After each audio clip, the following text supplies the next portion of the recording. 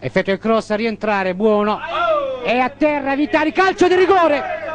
Calcio di rigore per il fallo. Tomba va al tiro gol. Il Brindisi sblocca.